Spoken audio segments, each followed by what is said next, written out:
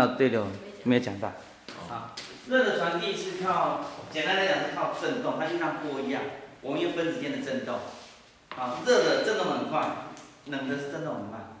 所以当它靠在一起的时候，这振动快的会影响振动慢的，会慢慢把这边振动会变成一致。就是热的传导。所以你可以想象，我假设这是一个物质，我这边加热，我这边的分子开始振动非常快，我同样的这个就会扩散出去嘛。我这个速这个振动的速度会慢慢扩散出去嘛。同样的，我这个空气是冷的，对不对？所以我跟空气接触的地方，我会把这振动的频率也会传递给这个空气。所以空气慢慢会变热，或者是说我这冷空气的振动也会影响到它的振动，所以它会变冷。所以通常来讲，你可能这长度过长了，我手握在这边，我可能没有感觉到这个热度，因为传递过来的过程当中，很多都已经往外跑掉了，热跑掉了。我们讲热跑掉，实际上是说这振动把能量传到空气上面去的，这振动把这能量传到空气，所以它就散掉了。好了，就热的传递来讲呢，这个速率啊，所以你可以看到这个速率。就说，当我这边是温度高，这边是低的时候，我温度是？我们说，假设温度是从能量从高到低，温度温出温度的传递也是让我们从高到低。那这是个感觉到这个速度差？它传递的能量的速度有多快？啊，这个能量，这个能量呢？这能量应该是功率了，啊，因为对时间来讲。这功率会正比于 delta T，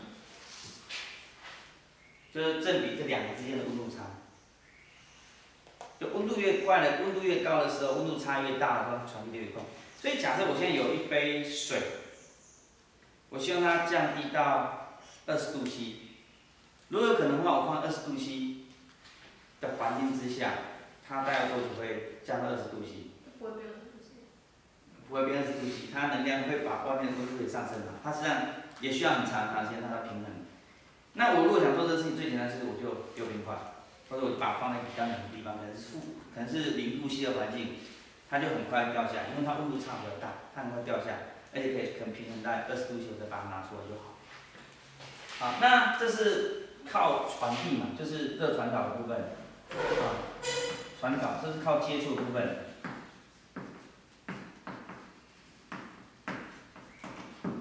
接触是这样子，没错。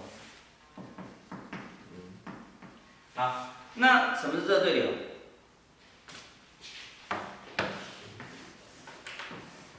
我这边如果说在燃烧，我这边的空气变热，这缺空气，这水变热，液体变热，液体变热膨胀？热胀冷缩，体膨胀，膨胀密度变小，所以这边的气体，这边的水就往上流。这边水就补充，加加补充，对不对？所以它慢慢就形成一个循环。那这循环形成的时候，它有助于它的扩散跟均匀，所以热对流来协助能量传递。但通常在讲热对流的话，我们就不会太不太会讲说它的传递速度是多少，因为它是一个很混乱的情况下，到底谁传给谁，谁传给谁，这不太不太容易分辨啊。好，这是对流的情况，但对流有助于热传递、热传导啊。我们讲有助于这样来处理。那热对流比较容易看到的情况，只有在液体跟气体。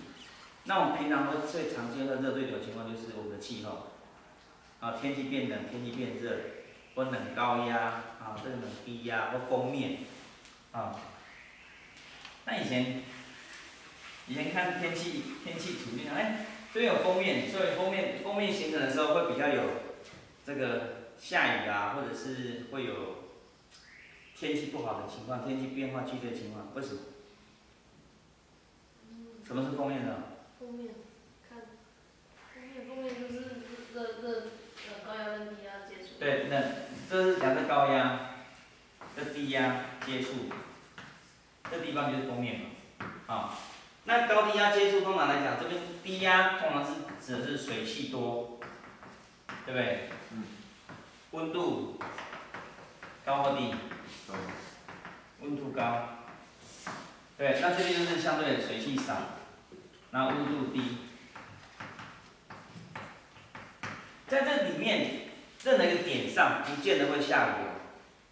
它只是温度高，温度高自然呢，它可以容纳水汽多。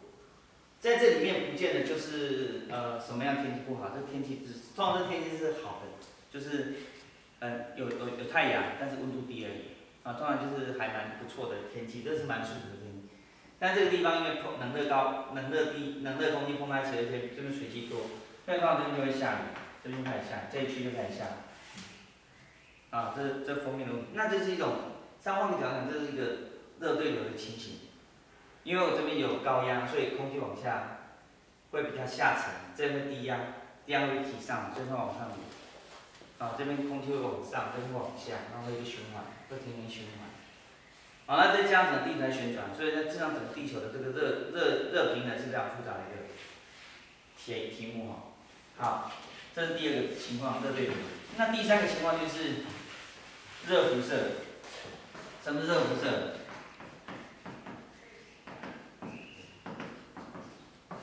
什么热辐射？有热就有红外线，有热就有，呃，对，那为什么有热就有红外线？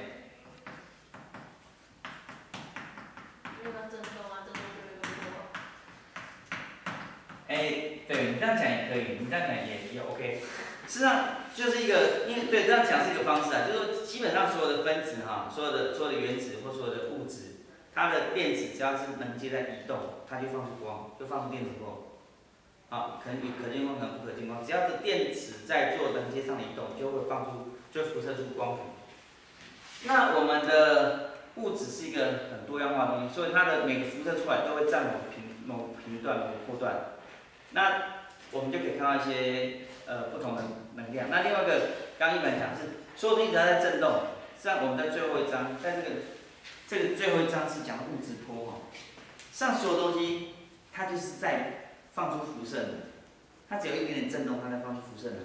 所以，所以只要是有一个温度，它就会有一个有震动，然后震动就放出辐射能。然后这辐射能的的强弱是跟温度成四次方比，就是我的功率啊，是正比温度的四次方。我的温度越高，我所辐射强度越快越强；我温度越低，我辐射出来越弱。啊，差别是温度的四次方。那温度四次方，你想，哎，那我这边是十度 C，跟这个二十度 C 来讲，二十度 C 应该要强很多。啊，它是跟绝对温度哈。绝对温度，所以二十度 C 跟十度 C，它差别就差两百七十分之两百七十三分之一嘛，S 嘛。哦，就差一点点啊，没有差很多，所以就会不会差很多。那因为如果用摄氏温度的话，觉得哎。那既然温度的十四次方，十度 C 跟二十度 C 就差十六倍才对，因为强度感觉差十六倍。那上面嘛，它是跟绝对温度乘四次方。OK，那这是这是实验的结果，这个这个好像没有看到什么样的推论说，哎，经过推导或者什么样的论证说它可以到七十四次方。我们刚才讲这次方哦，我们。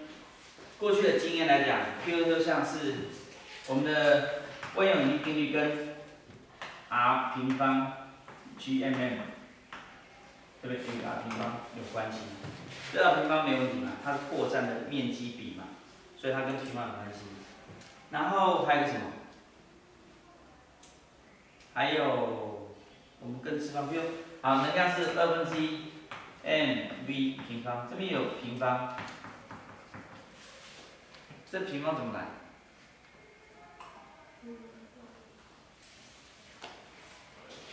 这如果说就我们呃这平方的因次啊，这这是这这这个单位叫因次。为什么叫因次？它就是一个 order，它我不知道为什么这样翻译，这个我不知道为什么这样翻译，它就它就是哎，我们讲数学讲次方嘛，啊，好，然后它是。它是呃，假用 m g h，啊，m g h 来讲的话，我们这边有 g 是 m s 平方嘛，h 有个 m，啊，所以合在一起，它就有 v 平方出现，速度平方出现。OK，它就是从我们可以从单位简单来想，它就是这样的一个关系啊。好，然后我们什么时候还有出现翅膀？呃，相应加速度，a 等于 r 平方之 b，是吗？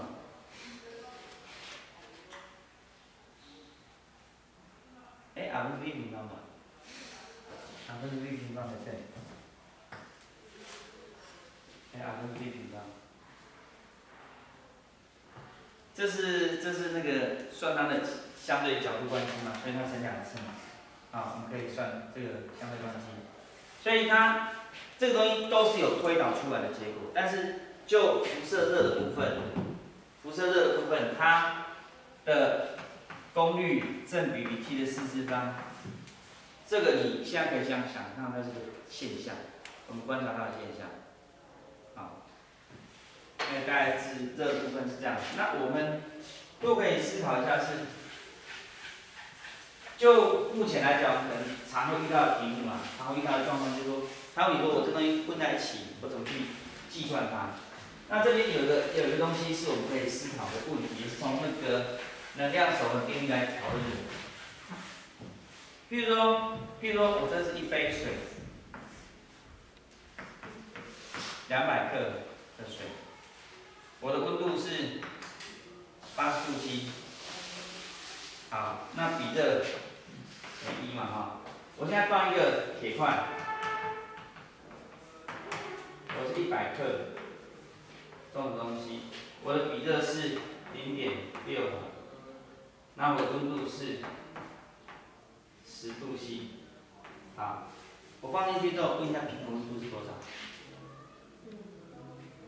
我们通常怎么算？两百斤的水，两百两百克的水对。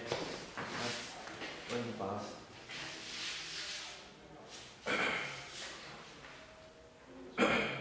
我们我们先，我们通常会假设最后的平衡温度是多对不对？然后接下来我们列式子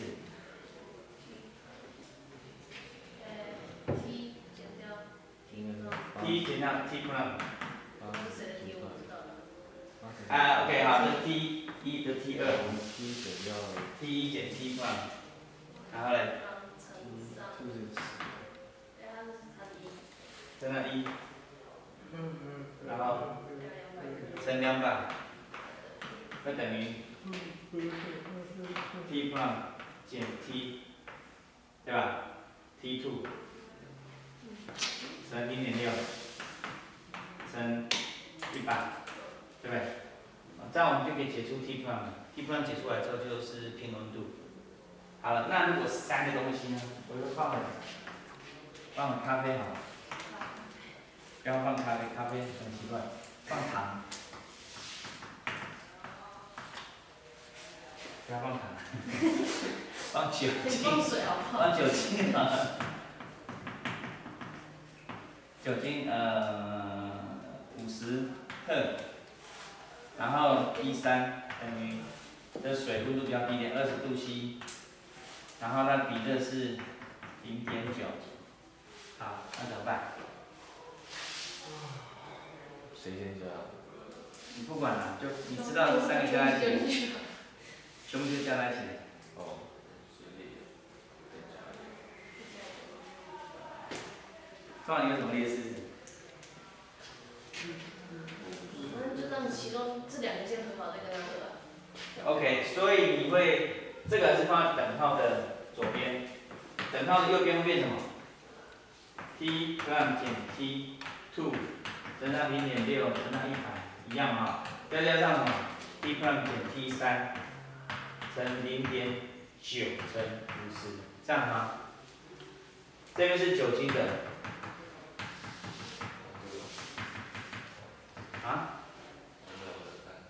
这边是铁的。是不是这样子？通常这个东西我们是假设什么？假设温度介于温度介于这这这介于，我们要三个温度嘛，二十度 C、八十度 C、十度 C，所以这个假设是假设我们平衡温度介于二十到八十之间，对不对？嗯，那种。如果是十到八十之间的话，这个 T prime 减起来，T prime 减 T 三会变负的，对不对？就会变负的，对吧？啊，好了，假设温度平衡温度真的是介，我其实我不用，我不在乎算出结果，我等下我们打这些讨论。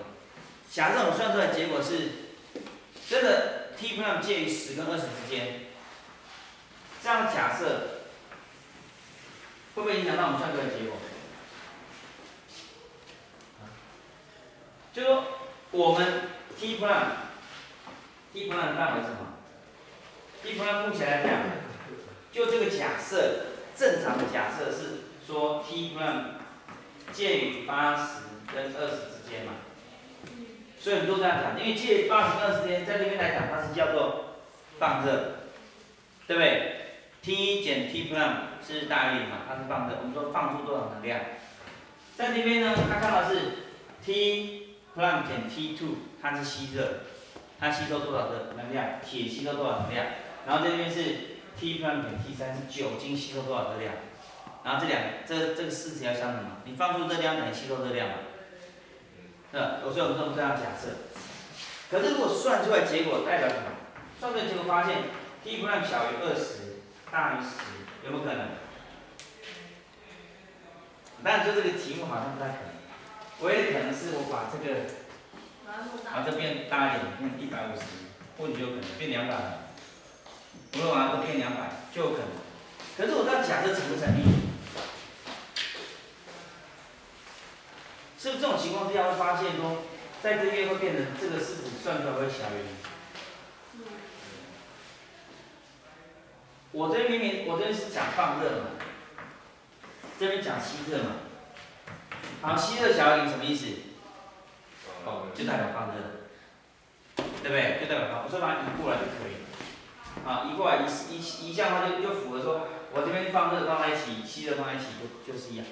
那有没有可能再我们再去看一个事情哈？我如果把它全部，既然这样的，我全部都移过来了，两项都移过来了，我可以全部变成 T prime 减 T one，加上这些，加上 T prime 减 T two，加上这些，加上 T prime 减 T 三，加上这些，等于什么？零。这什么意思？这一个是不是符合？哎，对，移过去都，因为。没有啊，他那个题，我哪边是写错了？没有。啊。那前面是 T one。啊，我刚应该是应该是把它移过来，把这移过来才变 T 分点 T one 哈，T 分点 T one 就是反正是不是全部移过来就全部移过去，反正移全部移过去也是等于零嘛，对不对？等于零，等于零代表什么意思？就是。热量没有水。假设这边代表放热，这边代表吸热的话，全部移过来一起代表什么？总吸热的吸热的总和嘛，三个成分的吸热总和。可是三个放在一起，我们再额外给它能量？不用。不用啊，所以吸热总和是零嘛。我如果全部移到这边来，表示什么？假如这边全部改成 T one 减 T prime，这 T two 减 T prime，这边是 T 三减 T prime。代表什么？我全部在讨论吸热，那也等于零啊。表示什么？吸热也是零。所以简单列式子的话，我们就是用这种方式会最简单，就不用考虑说，哎，这个温度在介于哪里之间，谁谁比较大，谁比较小。但假设我四个成分放在一起，五个成分放在一起，我看温度要介在哪里？你不用，全部用一个方式去写，后面就等于零。结论就是你可以想，总吸热为零或总放热为零就可以。啊，它的概念这样。啊，那这这这样子题目还算简单的，有时候还会考验你，会再加上一个说，那假设我放的是冰块，啊，还得算冰块的融化热，啊，这里还得加上冰块的本身的比热，啊，冰块如果是负十度 C 的话，啊，从负十度 C 到零度 C，它有一个吸热嘛，对不对？它还有一个那个它比热问题，所以它比较复杂，啊，大致上这样子，OK。好，那我们就直接进到气体理想气体方程式那边。嗯。